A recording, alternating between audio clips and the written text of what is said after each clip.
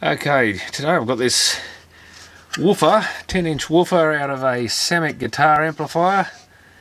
And this is the second one of these amplifiers I've had with a faulty woofer in it. They don't really have much on, on them in the way of marking, no brand, just this DY013 on the back. And it's completely open circuit. So I thought for something different I might cut the cone out of this and actually see if we can see why it's gone open circuit. Um, I've checked it back along these these flexible wires back to the where they go into the cone towards the voice coil. And they're alright sometimes you'll get a break in these just from flexing around too much. So it's possible that someone's actually cooked this one but I know another one it was just sent to the lady that bought it and it wasn't working when she got it. So possibly there's something weak in these that vibration damages or something but I guess the first thing is to try and remove this dust cap We don't have to care too much about that. And that's that's where our voice coil is. It's wound on the outside of this bit of, I guess it's just a bit of plastic film type stuff. And I guess we, in theory we could probably, I can see something black in there, in theory we could probably cut this out without even bothering to do much more. It is joined I think also to this, there's a kind of orangey yellow like a cloth was sort of soaked in, almost like a cloth soaked in varnish or something, but there's some sort of material in there. That's that's like a suspension thing as well as the actual cone itself and the the foam. Although this isn't really very foamy around the outside, it's quite stiff. Whatever it is, again, it's like cloth that's been soaked in epoxy or something fairly hard. Maybe not as hard as epoxy, but it's certainly got something to keep it rigid on there.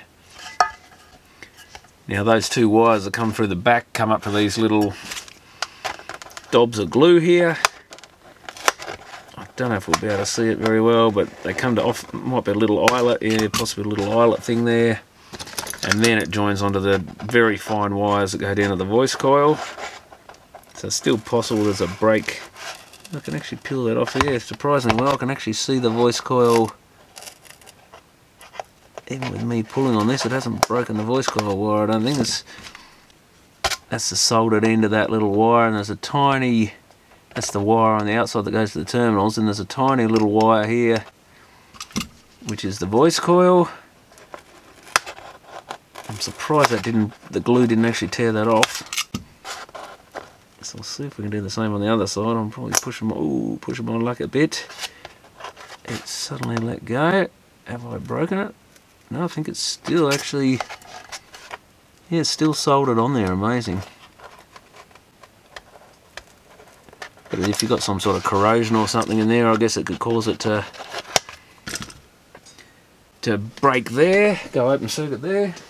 Get the multimeter on continuity here. Definitely nothing there. These may be lacquer coated so but they seem to be attached alright so the, the open circuit's further in there somewhere. Let's see if I can peel that right off without ripping the wire.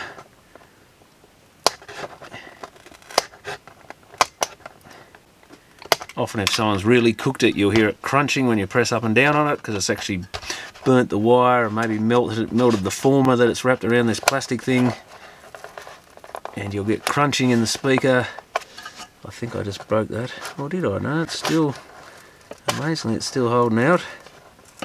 Whoop, now I broke it off the other one but it's still attached in the glue there or is it? I broke it off at both ends now. I think it's in the glue still. What have we got here? There's a little blob of solder or something there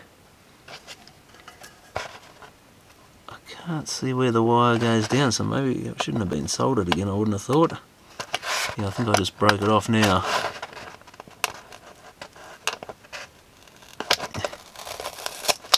So we can see what... Oh yeah, there's the wire going down, so that one must have been the bottom one. One had come out at the top here, and the other one would go right down to the other, because the coil's wound around this plastic thing from one end to the other. Actually looks like it's only got a very short, that sort of dark band there is, is the only wiring in there maybe. I guess it's got a pretty big magnet there so probably all it needs. I expected it to go right around the former, but doesn't seem to. We're probably going to rip that other connection off. I know that's that one seems to go down low as well. That's tearing through the plastic. Oh, maybe there's two coils. I'm not sure what we've got here. Might actually have two separate coils even. I don't know what is going on there. But that goes down quite low as well. We could probably almost pull this back up through. Problem is we're going to do some damage to it. Maybe. So I think what I might do now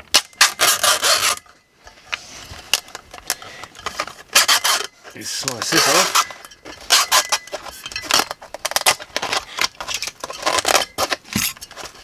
let's get the out a bit loose. And see now I've got this, we need to cut through this. I guess I might as well cut these wires off too.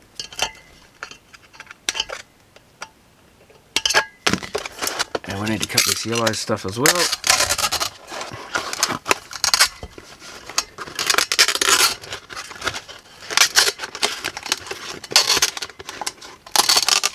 And that's actually, because I've ripped it off, it's actually left the voice coil behind. Oh, there's the winding. It's right down in there. That does look a little cooked, that wire. Mate. Oh yeah, it's cooked alright. So this one didn't just go open circuit. There's quite a bit of wire still in there because it's basically been fried right off the plastic. But yeah, that's very burnt, that one. You can see the whole bottom part of the wiring which I'm now pulling out of the magnet here has basically delaminated as such disconnected itself.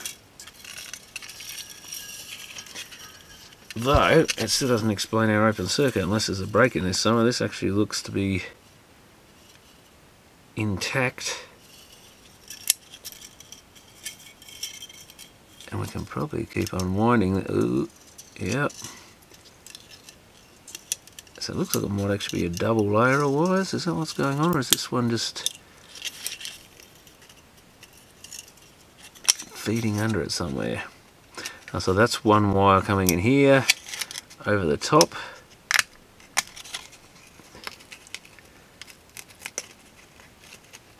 And going along, oh what have we got here? Oh, here's the break. I just found it. So what came off, or is that the other connection that I broke off? Oh, that is. That's actually uh, that one used to go up to the outside, I think. I don't think this has actually got a break in it. I can understand if the winding short together in this situation. But I cannot see an end on that. Where it's actually broken. If we rip that out of there, so that's one end of our coil. That's the good bit. And that's the other end, which still seems to be although I've got a problem now because I've only got three something's definitely broken here because I've only got one end on that one now, so something did give way. I just can't see where. Hang on, I think I just saw it. There. Yeah, we've got a broken wire here. So hang on, we've got one winding coming in. Oh, actually that's that's the other wire coming in there. So that used to be joined to this burnt bit wherever it was. That bit sticking out. And we've actually got the other wire that connected to the outside world here, I think. Oh, there it is. It's under this paper. Yeah, and that's up on the top of this former as well. So like I say, they're both up on the... Well, that's going one way, and that one's going the other way. So there must be like a double layer of wire here or something. That's the, yeah, that's the outer layer. I actually thought they just had one layer, but they must actually wind it, I guess, down and back over the top of itself, something like that. But yeah, that, that burn mark there is a definite giveaway.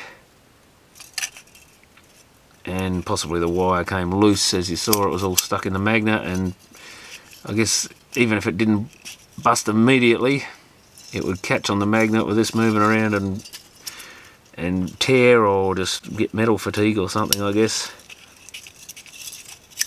Probably didn't last real long but yeah someone definitely fried this one so it's interesting to know. So that's what happened to that speaker. So basically got the cone with the outer foamy bit that often fails on speakers and then you got this lower bit just glued onto the bottom of the paper part. And yeah two flexible wires that go through. And then they're soldered to the the voice coil itself. And other than that you've just got your magnet itself. This one's been pushed in and then hit by like something like a big cold chisel. I guess some machine would come down and stamp those little little post things that stuck out to cut into them and make that stay there and it's probably glued as well I guess it'd be interesting I can see some glues actually come out around it so you can remove these if you want to save the magnets. But often you can prise them off the actual speaker, the basket, metal basket itself. But then these bits will all be glued together really well. And often takes a fair bit of heat or something, maybe a, a lot of force. We could probably almost... This one's actually got a hole through the magnet. It's got a bit of cloth stuff there. I guess to stop creepy crawlies crawling in there and bits of dust and stuff. So if we gave that bit there a really good whack, you could probably almost get the get the magnet itself off.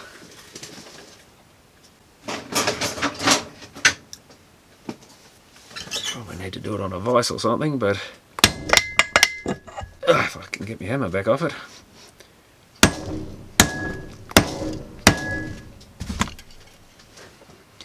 It's tearing off the actual basket before it's coming apart. I can see there's plenty of epoxy type glue in there so I don't think that's going to come apart in a hurry.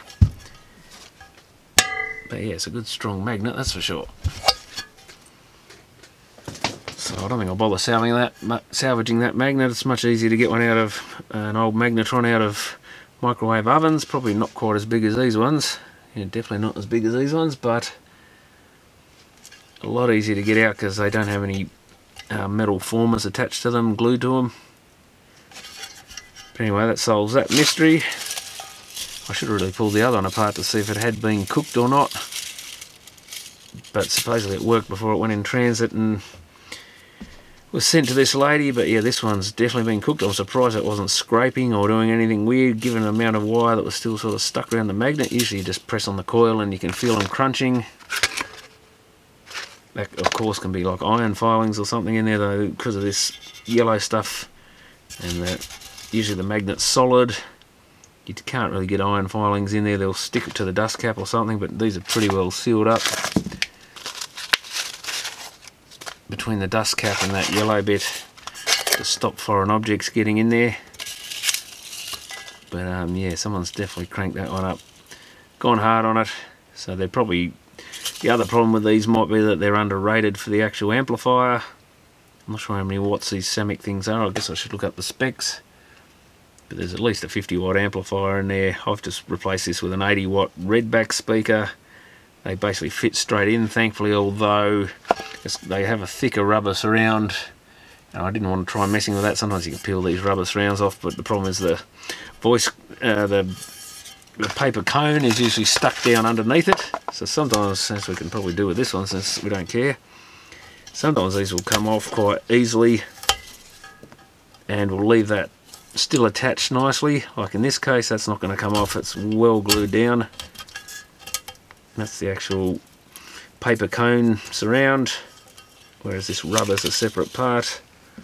We need a bigger flat blade screwdriver Sometimes you can cut them down, but the other one I, I luckily had some screws of the same thread and just had to put some longer screws in because it's got like captive nut things built into the front of the cabinet. So with some longer screws it fitted alright. This red back one, the holes were slightly closer together. These are about 250 centres. They were a little bit less, 248 or 7 or something, but managed to get it in alright. didn't bother doing a video on that since it's such a simple repair you just simply have you can hear the tweeter running no bass and you simply put your multimeter across the terminals on continuity and find it open circuit. Very sort of common thing with speaker failures especially when they've been cooked like that. But anyway thanks for watching